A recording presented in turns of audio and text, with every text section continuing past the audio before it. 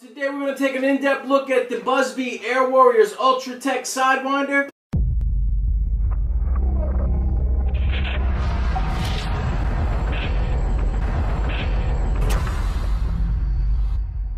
box looks like when you purchase it. I actually got it from Walmart for $19.97.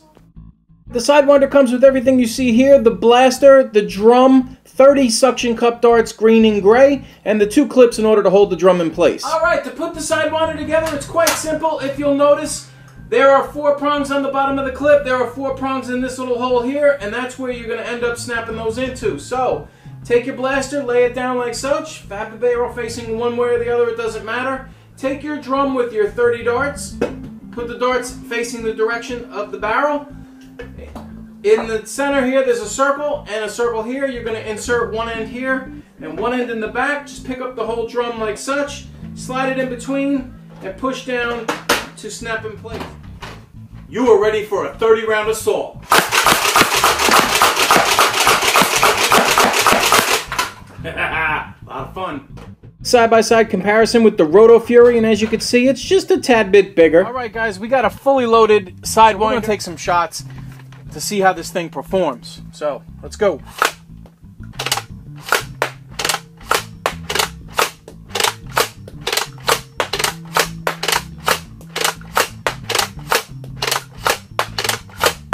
Okay, just so you guys know, this trigger absolutely serves no purpose whatsoever.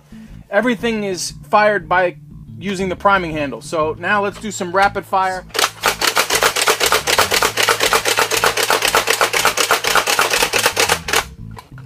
Nice, I gotta say, I kind of like it. These things blast, man. one thing I'd like to add, I did want to test this um, using um, regular Elite darts and Nerf brand darts, but the hole where the dart actually sits on is pretty wide. You can see the gray hole on the bottom as opposed to the blue hole is much bigger. So the minute you try to stick an Elite dart in here, it ends up deforming the end and you really can't get them to stay in there very well.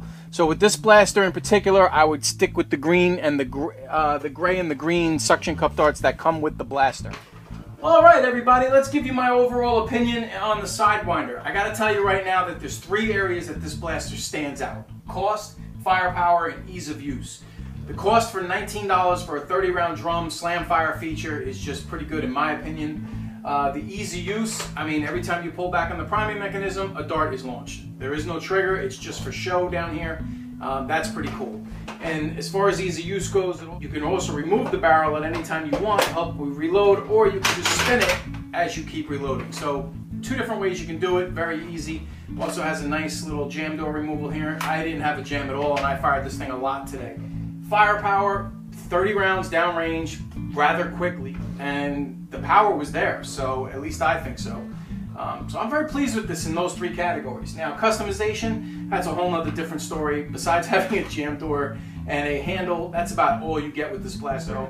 Um, it's very low for me, so I'll give it a one. And aesthetics, most of the Buzz Bee blasters, in my opinion, are pretty lacking as far as, um, you know, really cool looking details as far as like if you compare them to Nerf blasters but performance is there and the price is right. So I would definitely, definitely recommend you getting this.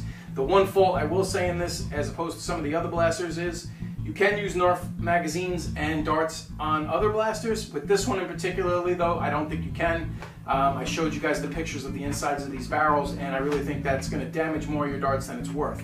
But having said that, I would rank this as a 3.8 out of 5 uh, on a star rating, and I would definitely say pick this up. Overall, it's never going to really cost you a lot of money. You're not buying batteries or anything else, so I would definitely say go ahead and pick one of these up. Well, alright everybody, that concludes my review of the Sidewinder. I hope you enjoyed this video. If you did, please give it a, a, thumbs up below. And if this is your first time seeing one of my videos, and if you liked what you saw, please do me a favor. Hit that subscribe button, alright? It's free. You'll never miss a video.